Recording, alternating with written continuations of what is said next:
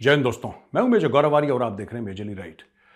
अच्छा दोस्तों, एक बड़ी तगड़ी खबर आई है रूस से, जिसका डायरेक्ट रिलेशन है हमास और इसराइल के बीच में जो लड़ाई चल रही है ना, उसके बीच में। मैं आपको पढ़ के बताता हूँ। ये एयरपोर्ट है, जिसका नाम है महाचकाला। ये दागिस्तान है रूस में। तो महाचकाला का, दागिस्तान के अंदर जो महाचकाला है, उसके एयरपोर्ट में क्या हुआ? कई सौ हज़ार लोगों की भीड़ एयरपोर्ट के अंदर घुस गई। उनके हाथ में फिलिस्तीन और हमास के झंडे थे। और वो क्यों आए एयरपोर्ट के अंदर, आपको पता है? रशियंस हैं ये ये रूसी हैं ये। ये एयरपोर्ट के अंदर आए क्योंकि इनको ऐसी खबर मिली थी कि वहाँ से इसराइल के लिए फ़्लाइट टेक ऑफ़ कर रही है। वहाँ से इसराइल के लिए फ़्लाइट टेक ऑफ़ कर रही है। ये यहूदियों को ढूंढते ढूंढते आए थे कि हमें यहूदी मिलें, हम उनको घेरें और हम उनको मारें। अच्छा मैं एक बात ये पूछना चाहता हूँ।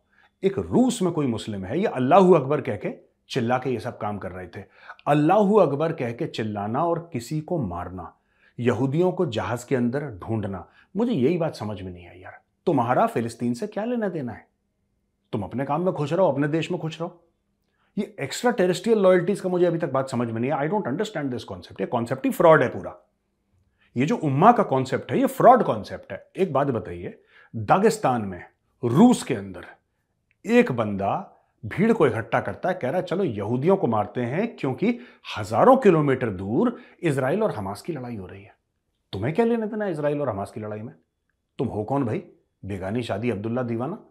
पर ये वही चीज़ है जो अलीगढ़ में हुई थी कि तेरा मेरा रिश्ता क्या ला ला ये एक बहुत बड़ी बीमारी है दोस्तों राइट इसमें जो कई सारे हमारे मुसलमान भाई हैं राइट जो इसमें हिस्सा नहीं लेना चाहते, जो सिर्फ़ अपना काम करना चाहते हैं, ठीक है, उनकी अपनी राय होंगी, उनकी अपनी राय होंगी।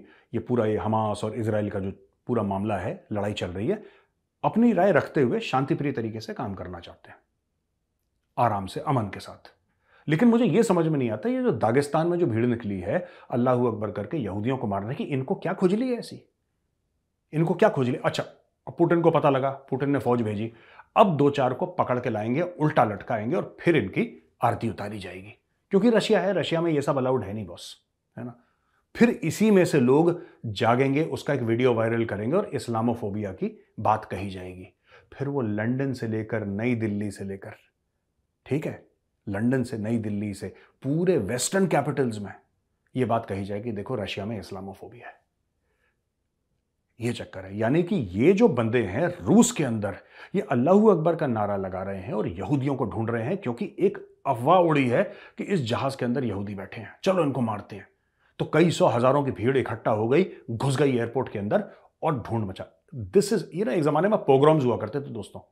यानी कि ये पूरे यूरोप में होते थे, रूस में भी होते थे एक जमाने में पोग्राम्स प्रोग्राम क्या होता है कि P O G R O M P O G R O M pogrom pogrom का मतलब क्या होता है कि जब एक भीड़ इकट्ठा होती है ना, एक मॉब इकट्ठा होता है और एक खास कम्युनिटी को घेर के, ये ऐसे काम करते थे जैसे यहूदियों का एक बस्ती है यहूदियों की।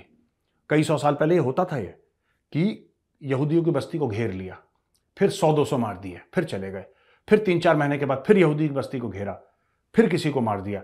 ये रेगुलरली ऐसा करते थे, इनको कहते थे पोग्राम्स तो दोस्तों, ये पोग्राम दोबारा है आप देख सकते हैं किस तरीके से हुआ है यहाँ पे एक भीड़ अल्लाह अकबर के नारे लगा के ढूंढ रही है रूस के अंदर, रूसी भीड़।